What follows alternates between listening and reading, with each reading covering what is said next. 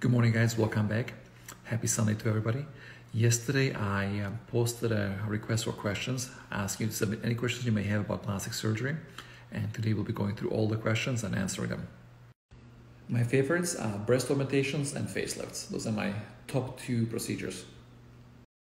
So this is a great question. We do talk about this a lot when we do our BBLs, fat injections. So uh, this is called fat embolism. It is when fat embolizes, flows and obstructs the blood flow to the lungs. When fat embolism happens, it is very serious, often very deadly complication. And for that reason, it's really, really important that the surgeon you're going to practices safe BBL techniques. There was a study that came out of Mexico and Brazil that looked at Mexican and Brazilian plastic surgery experience and they found very high rate of deaths and they found that this was a problem. So this kind of raised alarm bells around the world and plastic surgeons and plastic surgery associations around the world sort of started looking into this. And so a lot of research has been done into this, and what they found is that injury to the gluteal veins, superior and inferior gluteal vein, resulting in blood, um, in, in fat getting to the blood flow and causing this fat embolism. The American Society of Plastic Surgeons has done a lot of research, cadaveric dissections, trying to look at uh, the cause. They've, they've identified this problem. Dr. Delvecchio in the States has done a lot of research into this, and Dr. Miami has formed the WAGS, World Association of Gluteal Surgeons, in an effort to this from happening again. So WAGS is a is a is a pretty much a worldwide organization where surgeons from around the world have joined, and we work together to educate ourselves, to share information, share the knowledge, share the experience, to minimize the risk of this ever happening again. And based on what we know now, uh, we've created what's called safe BBL. Injection with a rigid, large cannula that doesn't bend, not injecting muscle, not injecting under the muscle, and aiming away from the danger zone. So knowing everything know about the dangers of BBL and knowing how to avoid them, I personally feel very comfortable doing BBLs.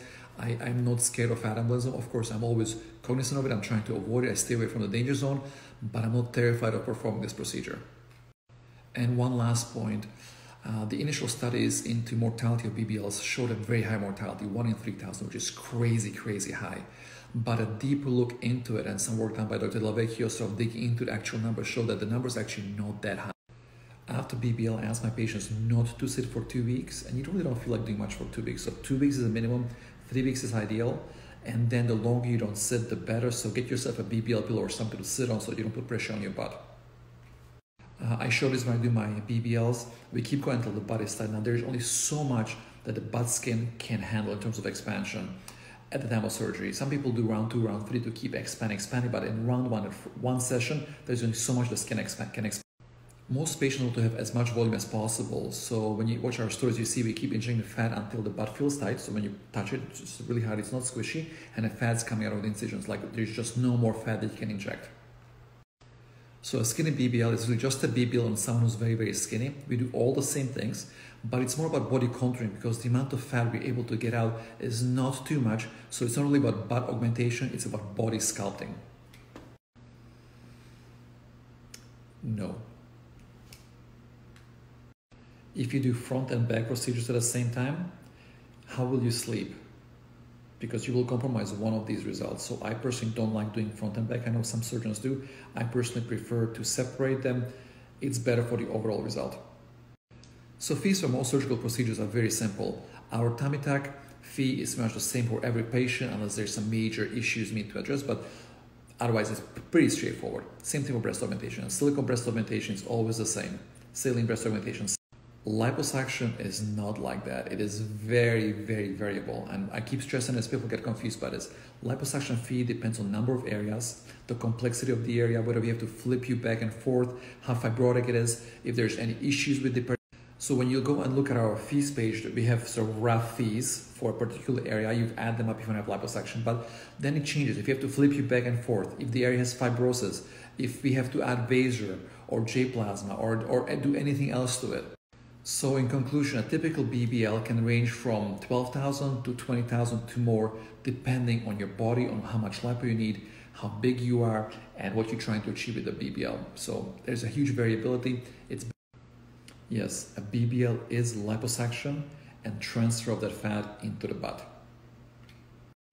If you still have good amount of fat that can be liposuction and transferred, and remember, most people always, always overestimate how much fat they have.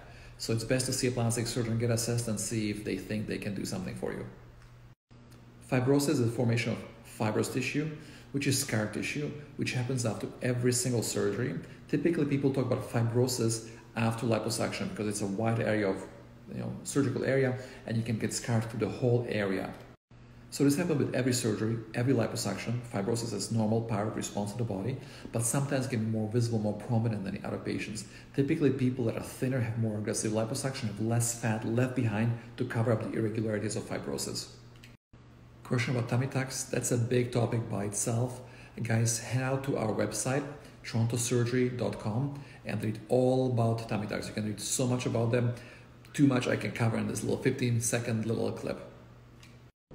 Tummy tuck is removal of excess abdominal skin and, if necessary, tightening of the abdominal muscles.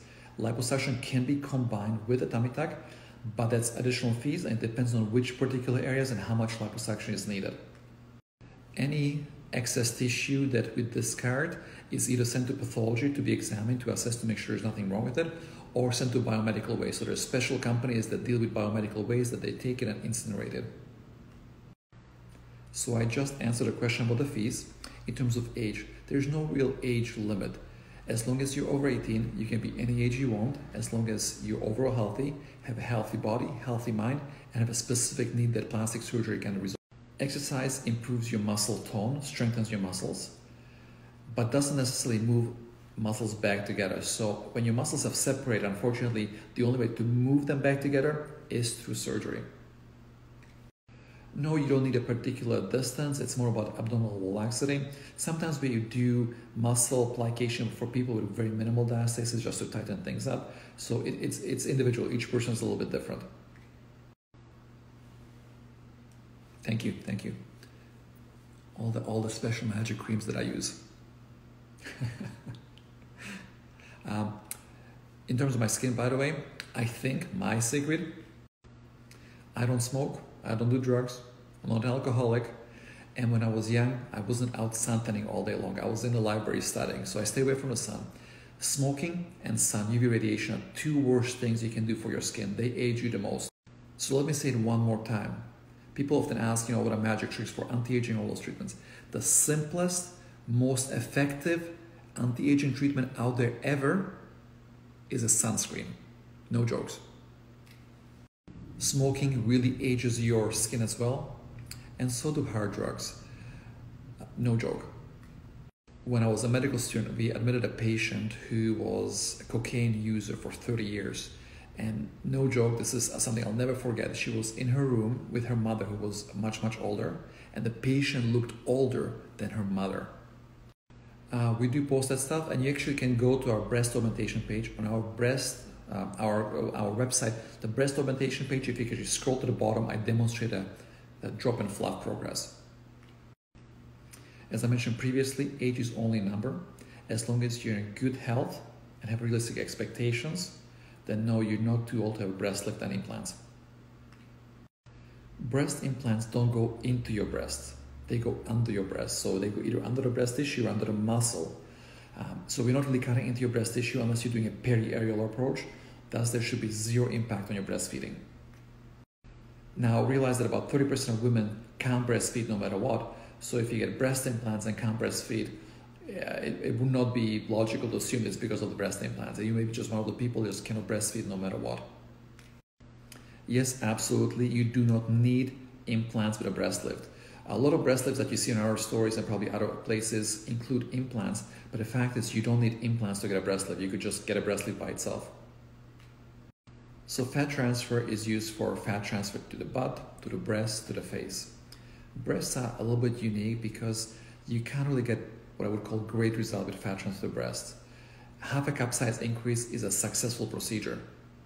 So for that reason, I reserve fat transfer to patients who absolutely do not want breast implants and are happy with just a very, very little slight augmentation enhancement of their breasts. And of course, who have fat to be transferred. Yes, absolutely. There's no real reason why you wouldn't be able to. Uh, having had one surgery doesn't doesn't mean you you can't have a surgery afterwards. People often ask, how long should I wait? Wait long enough so that the previous surgical area is well healed. The fee for breast augmentation is for the surgery itself, and it's based on the implant you choose. It's silicone or saline or ideal implant. The size of the implant has no impact on the surgical fee. So whether you get a 200cc implant or 800cc implant, the fee is the same. Choose between silicone and saline implants. Uh, it's a very personal decision. There is no one implant that is perfect for everybody. They all have pros and cons. Check out our website, go to the breast augmentation page, and read the section on silicone versus saline to help educate yourself. The most common cause of implant rupture most likely is wear and tear. Implants kind of move, fold. Uh, it's, it's, it's a man-made product. It's not perfect. So over time, the shell can weaken and can develop a little little poke hole or a leak. There's no need to go ahead and preventatively schedule uh, implant replacement. You just let them be. If there's a problem, then you do something about it. If there's no problem, no need. There's no need to go ahead and preventatively schedule uh, implant replacement. You just let them be. If there's a problem, then you do something about it. If there's no problem, no need. Check out our feed. It's actually one of the latest posts I posted. Now understand everybody heals differently. Some people get absolutely beautiful scars, and some people unfortunately get what's called hypertrophic or keloid scars, which are very, very unsightly. The quality of the scars has to do with the patient's genes. Some people are just predisposed to abnormal scars no matter how hard you try. Meticulous closure by the surgeon, and then after surgery, no trauma, no injury, no infection, nothing damaging the scar while it's healing. So your genes are a big factor, nothing we can do about it. I do my part in performing a very nice meticulous closure and then you need to do your part to make sure that you protect the scar so they heal nicely. Follow the post-op instructions your surgeon gives you. Ideal implant is an implant. Ideal is a name. It's not necessarily ideal for everybody. Everybody's a little bit different. So there's no one implant that's perfect for everybody. That's why. We get this question many times for different kind of procedures. If you have questions about our fees, please look at the link in our bio. It'll take you to our fees page, our fees in Canadian dollars, and do not include HST. So go take a look over there for any procedure questions or any, any fee questions. My dad was a plastic surgeon, so since the very early age, I kind of looked up to him as my role model, and that's how I got interested in plastic surgery and got where I am today. I did my undergraduate degree in molecular genetics, molecular biology at the University of Toronto, medical school, University of Toronto, plastic surgery at the University of Manitoba in Winnipeg, and then plastic reconstructive cancer reconstruction microsurgery in New York Memorial Sloan Kettering.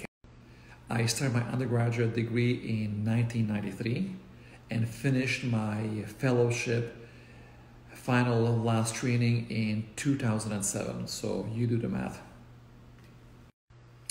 I love to operate. I, I, I, tell people the OR is my playground. I love spending time in there. I love transforming people's bodies and seeing the results. I'm a very visual person. I like to see the results of my work. Read a lot, study a lot, try to understand what you're doing. Don't just memorize facts. There's no shortcut. There's no magical little formula. Just a lot of hard work, a lot of hours, and a lot of sacrifice. So the pre-op protocol varies from place to place. In Ontario, we do not need to do pre-op tests unless they're indicated. So if I'm concerned about something, if you have previous medical conditions, or if I'm concerned about something during surgery, then we would send you for a blood test or some sort of test before. Be at your ideal weight. So if you're overweight, lose weight, be in a good physical condition, um, and follow your surgeon's pre-op instructions. So sometimes you have patients that just go ahead with surgery and they don't get tested, they're worried, well, I didn't get a test. Is this normal? Are you guys doing, you know, practicing the medicine? Yes, we are. If you're overall healthy, healthy young lady, have no medical issues, no concerns, the surgery is simple, there's no need for blood work. After surgery, keep your wounds clean, dry, bacteria-like moisture. Don't put stress on them, don't stretch them, don't hurt them. And as you're healing, there's various things you can do for them. Uh, silicone, silicone tapes, creams, um, uh, probably the best for scar care. They're no magic, but they're most effective of all the different treatments out there. If you guys want to understand more about the healing process, please go to our website. If you want to see it, watch our stories on Thursdays, our follow-up days when we show the progress of people healing after surgery. Although now because of COVID, we limit things so it's all virtual, so you don't get to see so much. So hopefully once COVID is over and we're able to go back to our regular process and see people in clinic for follow-ups, Watch us on Thursdays. That's the follow-up day. That's where you get to see what happens after the surgery. BMI is an indicator, not a very good one, but as good as we have to indicate risk of post-op complications and risks.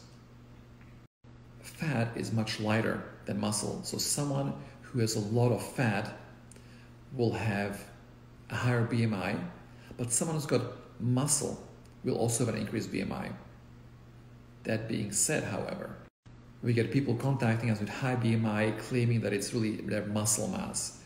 Uh, some kind, sometimes it is, and we ask them for pictures, but most often it is not. It is, even if you think you have a lot of muscle, still. More often than not, when these people send us pictures, I see a lot of excess fat that is still present. And for that reason, we turn them away. We have a very strict BMI of 30 cutoff. You cannot even come for a consultation if your BMI is over 30. And then once you've had a consultation, we still ask you to lose weight before surgery. Um, if you don't, um, understand we cannot give you as good of a result as someone would get who's got a much lower BMI. And here's one point that's obvious to some, totally not obvious to others. Let me make it very, very clear. There is no amount of plastic surgery of tummy tucks or liposuction I can possibly do to make a BMI 30% look like a BMI 20%. Yes, you can do neck lipo after you've had a Kybella treatment, even though it does create a little of scar tissue. Do I recommend Kybella? Only in very, very mild cases, because remember, non surgical treatments are still not a replacement for the real surgery. It's not going to give you the same result. Uh, I find a lot of people get Kybella hoping that they can get a little bit of a result. They do it, they're not that happy, and they end up coming to us for neck liposuction. That being said, my experience is a little skewed because I only see people that are unhappy with the Kybella coming to me, but I do see it a lot. So I don't I don't see all the happy people at Kybella treatments, but be ready for the fact that you may end up being not satisfied and wanting more. Okay, a few more questions. Um, the time ran out, so I won't have them up there. I'll just read them. I took a screenshot. Question about when am I, when am I coming to UAE? Hopefully soon I'll be coming to UAE and Kuwait uh, once all these travel restrictions are lifted because right now it's pretty much impossible. Um, next question is how far out are we booking? So we're, we're booking far out. If you're looking for a big procedure like a BBL, we're booking to June, July. Uh, something small, we can squeeze you in earlier. Uh, you can always be on a standby list, uh, but if you want something, please let us know simple procedures like breast augmentation, we can pretty much squeeze you in maybe January, February. Um, it's it's a one hour procedure which you can easily add at the end of a surgical day unless it's a super long day. And then when it comes to local procedures, we are much more flexible. So a procedure such as labiaplasty, which we do almost always under local, though it could be done in general if you request it or if it needs to be. Uh, those are little things that we we always add at the end of a surgical day. Um, so that, that's that's pretty flexible. There's a question about round two. Is it necessary? Nothing is necessary. None of the procedures we perform are necessary medically. These are all elective procedures, meaning you choose to do them if you want them, but you don't ever need to do any of these procedures. A question about hybrid breast augmentations when people put implants in and do fat transfer. I'm not a big fan of them. If you want to do fat transfer, I will do it at a later stage, not to complicate the procedure itself. Uh, um, the reason why people do this is to try to cover up the implant in a skinny patient.